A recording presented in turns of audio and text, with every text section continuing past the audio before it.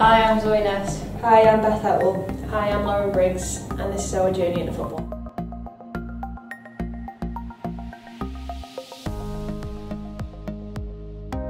All three of you have touched upon the fact that you did a lot of travelling, both in England and, and abroad, and that must have made some, some great memories from your time at Durham Cestria. Which stand out for you three? I think we'll all have like definitely funny memories and definitely different memories for different tournaments or like weekends that we spent away.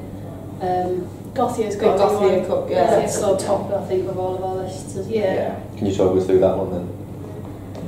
We'll take the first year. We, I think, we went there and didn't really know what to expect and ended up at the final. And I think the second year, going back, we kind of realised the hard journey that we'd gone through to get to the final. Because second year we didn't do do as well, and the third year, I think the first year again was just the unknown, and we The stepped first in. year, we were like under 15s, weren't we? But I mean, half of our team were like younger.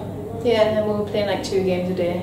It was, It was because I don't think anybody really knew who we were. Like we were, we were representing England, but like we were still like not heard of. And then we ended up like going to the final, playing in this huge stadium. Like it's a lot to digest as a 15 year old, 16 year old, even younger. Like best a year younger than me and Zoe, so like she was already a younger one, but there was people who were younger than her. Um, great experience. And obviously the second year, It's just amazing that experience. Yeah. I think back, like, always like unreal. Like, you, you were there for a week, you know, like obviously like in a hotel and everything together and The atmosphere. the atmosphere, like the whole of Gothenburg was just football. yeah. And when you're that age, you're like just absolutely loving it. Like, I suppose it was like an international. You Yeah. felt like you were on an international duty. Like for me, obviously, I got injured in one of the years that we were there. Was it the third year I got injured? Yeah. Like I did, Mm. and obviously, I like I had an ACL injury, um, and that was just like awful.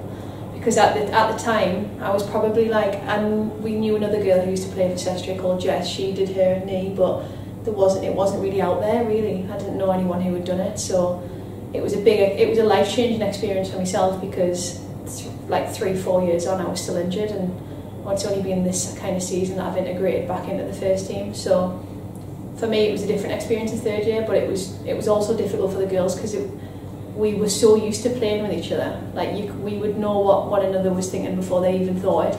So taking, I suppose, a key element out or a key, a key component to a fine tuning like machine, it was difficult for the girls to adjust. I think.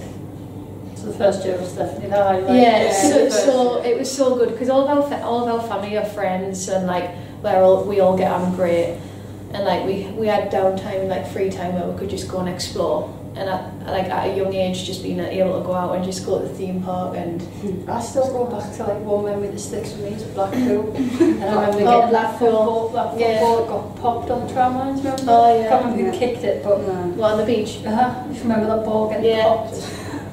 bye bye.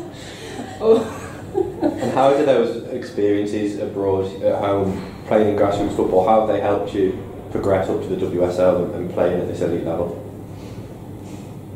you appreciate it. You, I don't know what it is now in terms of tournaments for the younger grassroots teams, but I don't think you can beat them. I think definitely some of the, the best games that we've played in and the fun weekends that we've had.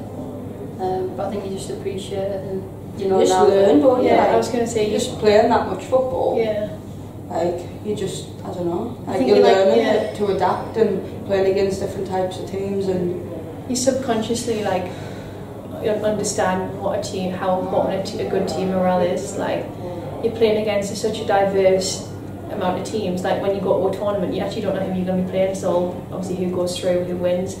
Um, it's like playing golden goal for yeah, like we were. We, we had such a strong winning mentality. It didn't matter who was in front of us. We were just we wanted to win always.